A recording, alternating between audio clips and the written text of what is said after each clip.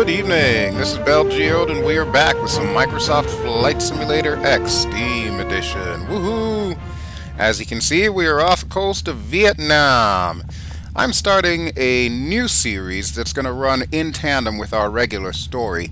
What I'm going to do here is I'm going to highlight some of the quote-unquote Vietnam veterans, and by veterans I mean some of the important planes of that time period.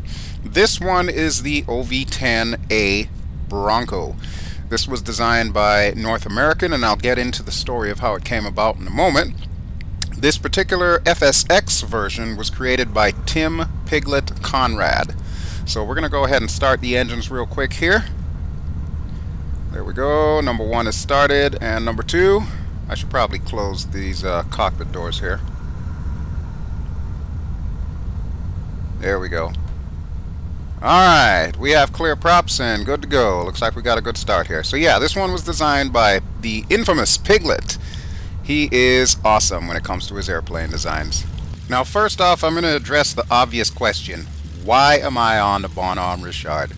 Well, as part of the design of this aircraft, it was designed for short takeoff and landing. So this is actually something that it did during the Vietnam War was to take off from these kinds of vessels and even um, larger aircraft carriers like the more conventional aircraft carriers.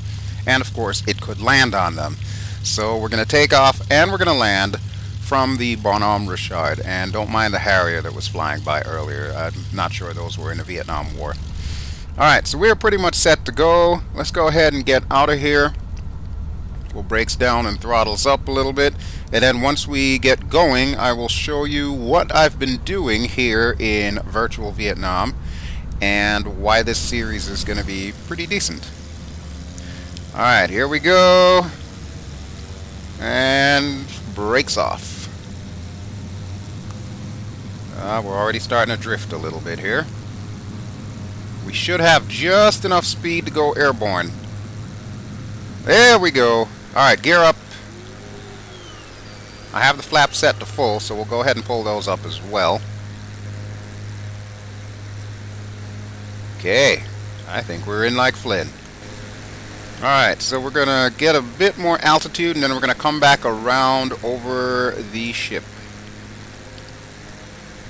There we go, there's the Bonhomme Richard. You probably recognize this shot, that's our title shot as well. And we'll go ahead and turn back towards the ship and then I'll start telling you about what's going on here. First, some quick facts about the OV-10 Bronco. This aircraft is about uh, 44 feet long and 40 feet wingspan. Just to give you an idea, that's about uh, 4 feet longer in wingspan than the average Cessna C-172. So yeah, it's a pretty small plane. As you can see, it's a twin engine. It's got twin turboprops, which gives it a maximum speed of about 288 uh, miles per hour and a range of about 1,382 miles. Hey, Bonhomme Richard, we'll say goodbye to them for now as we're going to head over to Vietnam. Among other things, uh, this thing can carry rockets, missiles, bombs. Uh, you could insert uh, special ops troops in there, like Navy SEALs and whatnot. And of course, you could also carry stretchers.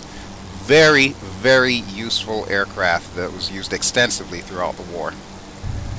Now the really cool thing about how this aircraft came together, um, it was conceived in the early 60s through an informal collaboration between W.H. Beckett, who was formerly of the Marine Corps, and Marine Corps Colonel K.P. Rice. Essentially, they built this sucker in a garage. Like they built a fiberglass version of the garage, kind of like a proof in concept to see if light attack aircraft, you know, could actually be used with, you know, certain degrees of efficacy. And sure enough, when they pitched it to North American, actually I think uh, W.H. Beckett ended up retiring from the Marine Corps and working for North American to sell the aircraft. Um, they pitched it to the military, and of course, most of the branches just basically gobbled it up. So, like the Army, the Air Force, the Navy, and of course the Marine Corps all took an interest in this aircraft as a light attack aircraft as well as an aircraft to assist with COIN or counterinsurgency and also for observation purposes. And probably what it was most famous for in Vietnam, which would have been FAC, or Forward Air Controller. So it first flew on July 16th of 1965 and it was officially introduced uh, in October of 1969. From that point onwards, it saw a lot of service and believe it or not, Boeing is still thinking about building these suckers today. Alright, I'm going to take a moment from telling the story of the Bronco to introduce you to the major thing that I've downloaded for the Vietnam area that I kind of want to show off here. So to help tell the story of the aircraft of the Vietnam area, I've actually downloaded what's known as the FSX Vietnam War Project, which is a French-based project that basically turns your FSX Vietnam to the way that it would have been back in about 1969. So right now we are approaching Cam Ranh Air Base, and even though there is now a pretty big international airport there, this is what it would have looked like back then. So we're going to overfly the airport here for a minute here and just take a look at some of the old birds that are hanging out down there. As you can see, there's a whole bunch of Quonset huts and all that good jazz. A bunch of Jeeps down there. I think I can see what appears to be like a provider or something. And look at that, there's a whole bunch of Phantoms down there, and of course some uh, Hercules C-130s. That is so cool. So it creates like a whole bunch of air bases that would have existed back then, bases that aircraft such as this would have been taking off and landing from, in addition to which there's also LZs, and I believe there are also missions that come with it, so if you wanted to use the FSX missions, you could actually play um, some of the somewhat historic uh, events that would have happened during that time period.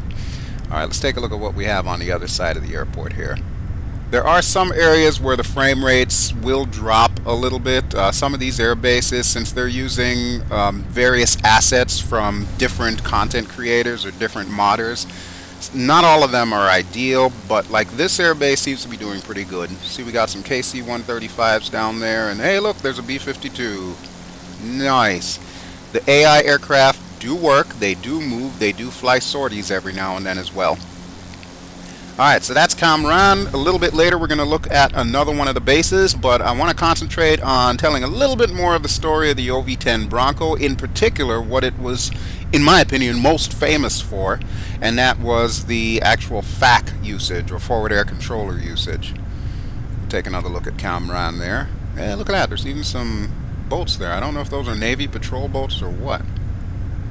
You get a lot of stuff with this um, Vietnam War project thing. So yeah, if you're interested in flying around Vietnam as it would have been back in the late 60s, early 70s, yeah, I would highly recommend you download it. It is freeware, by the way, and there are a lot of files associated with it. Alright, so let's head towards the jungle, Mother Green, and we'll go over what the FACs would have been doing with this aircraft here. This aircraft is a little bit of a paradox. It was actually designed to be aerobatic, yet it was slightly underpowered even though it had two engines. In fact, let's see if we can roll here. Yeah, see the roll rate is really slow on that. We're going to head this way anyway. I want to kind of head over to the hills. But yeah, that's one of the chief complaints with this aircraft um, back in the day was the fact that even though it had two turboprops in there, they were vastly underpowered.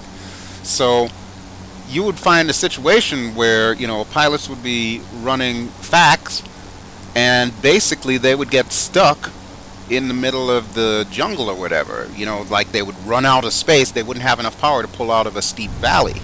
And that cost the lives of a lot of really brave pilots during the Vietnam War. But um, one of the things that they would do as forward air control was basically ensuring the safety of friendly troops during close air support. You know, you've got uh, Charlie in the trees or wherever the, the uh, Viet Cong or the NVAs were hanging out. And of course, they're going after our guys. Our guys are putting in a call, hey, we need assistance ASAP. So we're going to fly over to this area, and I might also add, this plane had no armor whatsoever. In fact, initial variants did not even have armament on there. These rockets that you see on the bottom are kind of like a second edition there. So yeah, we would go through the hostile area here and of course by now we'd probably have all kinds of AK-47 fire or in some cases even uh, AAA fire. AAA would shred this aircraft because it, like I said it's not meant to be like a huge fighter. It's no A-10 Warthog.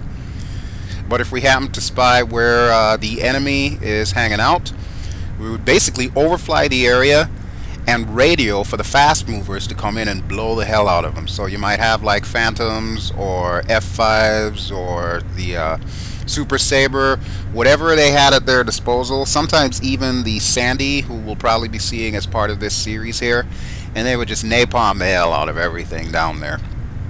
These guys, these forward air controllers, would stay loitering over the area for hours at a time, almost up to like five hours just hanging out here doing maneuvers like this. Of course getting shot at the entire time and praying that there's no lucky golden BB that's gonna like take them out and you know completely bring this plane down.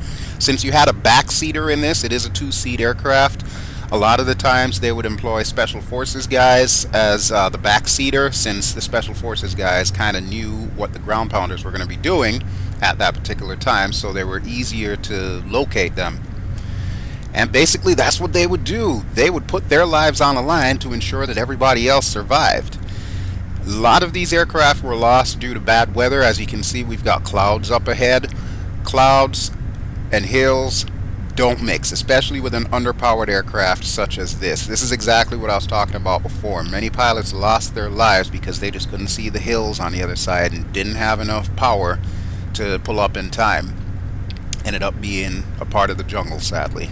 But with that having been said, hands down, the absolute bravest pilots in the Vietnam War were the guys who flew this sucker plus the Bird Dog and some of the other observation type aircraft.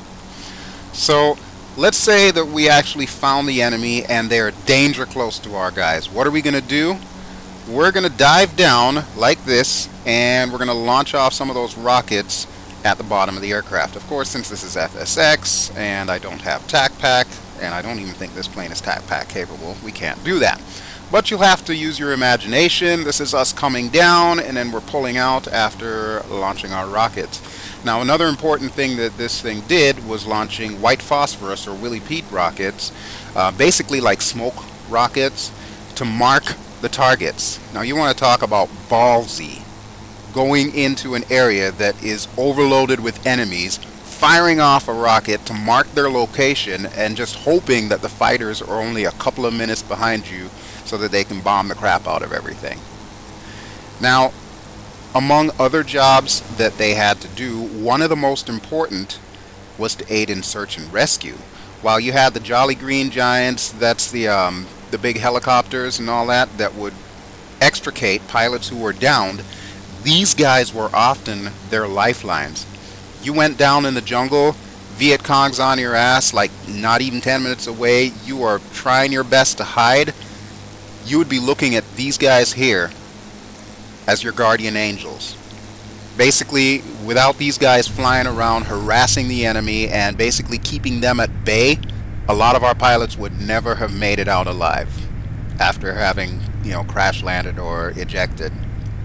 So yeah, as you can see, this little plucky plane did a whole hell of a lot to ensure the safety of our boys. And I gotta tell you, I got a massive amount of respect for the guys who actually flew this thing in real life facing against you know things like MiGs or AAA and you know everything that could possibly kill them putting their own safety just out there they're at the mercy of the gods basically for those pilots who actually did this kind of work and came home to tell about it and, you know, have families and so on, my hat goes off to you. You did an absolutely incredible job that the average pilot I don't think could have handled.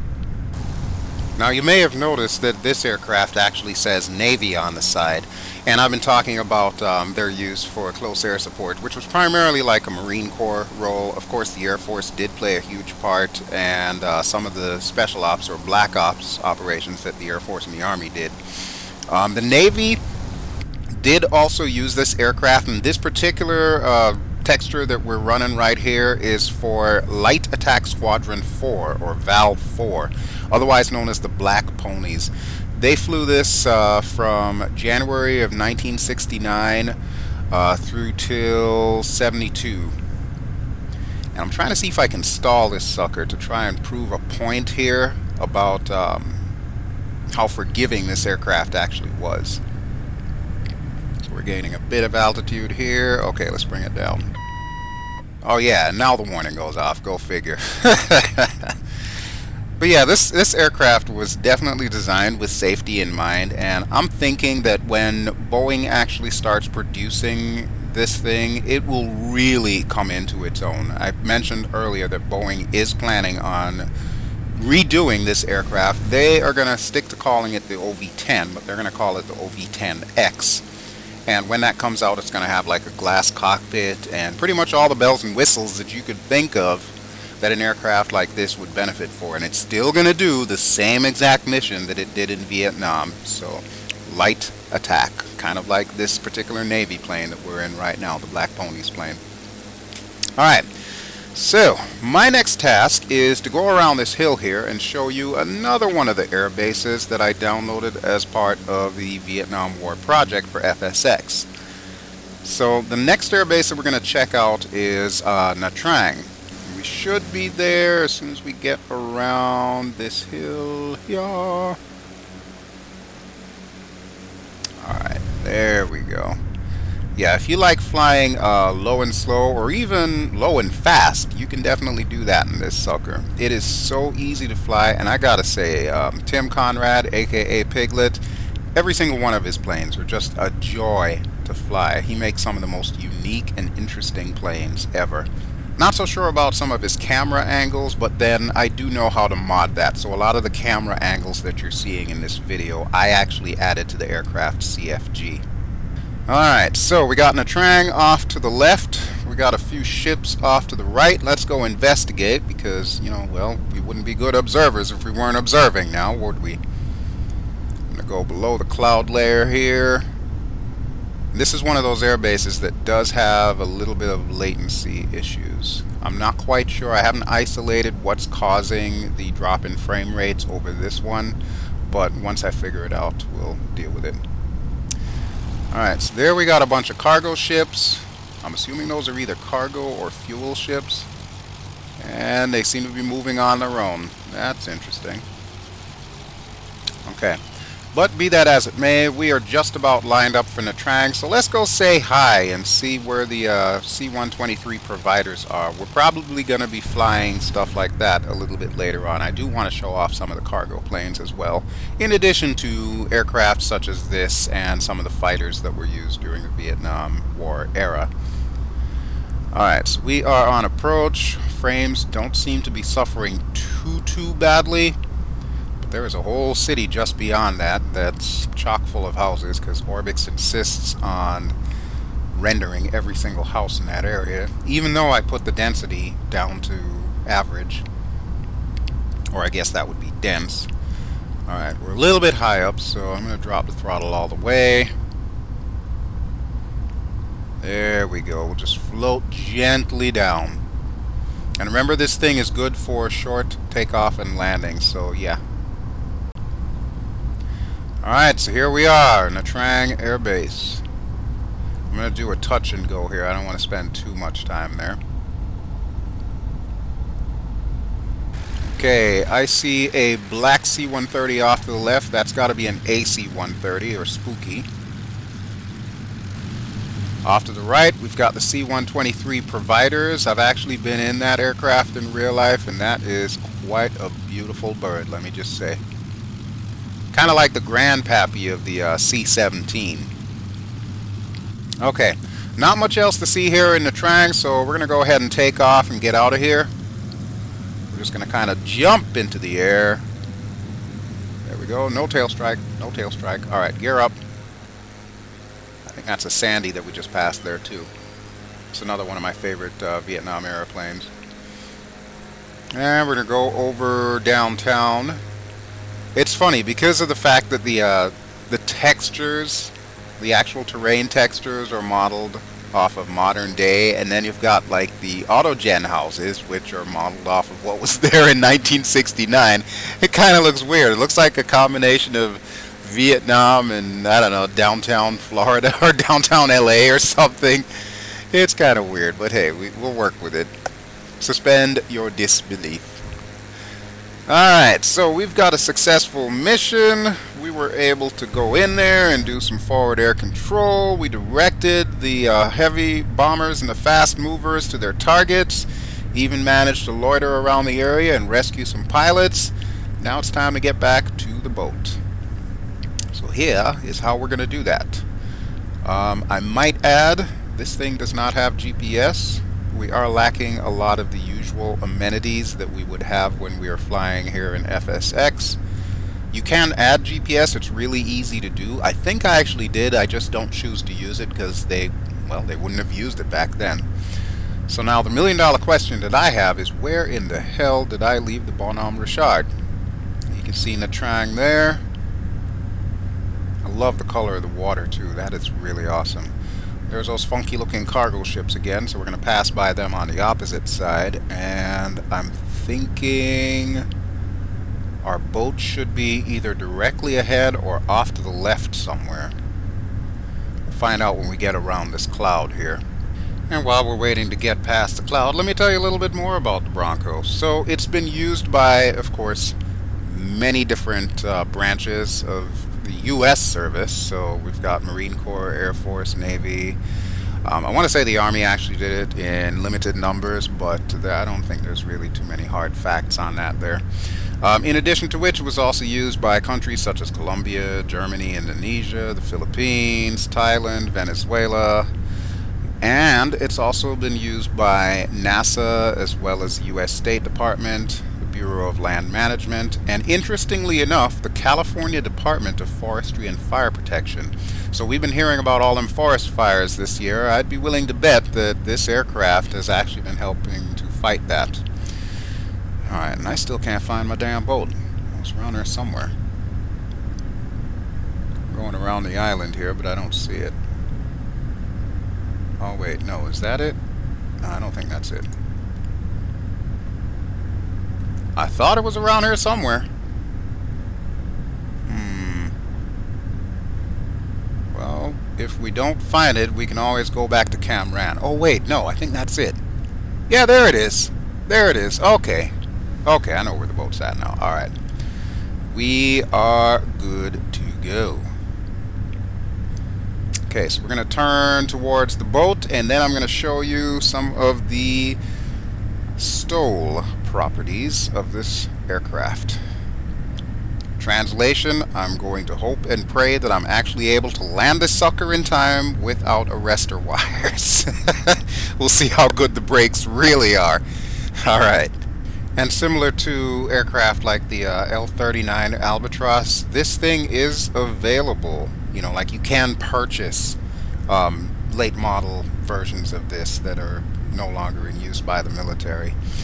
In fact, I think I actually saw one for sale online. I'll have to look at it again and see how much they want for it. Okay, so we got the Bonhomme Richard up ahead. Hopefully the helo will have left the deck because I'm going to need the entire deck in order to land this sucker.